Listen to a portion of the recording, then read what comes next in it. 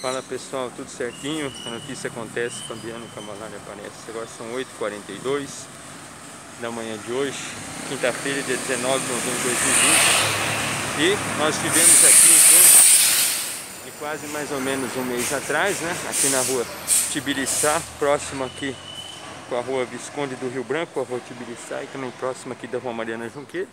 Parece que o problema foi resolvido, né? Colocaram uma camada asfáltica e não tem mais vazamento, não tem mais o solo afundando aqui. Ainda bem, né?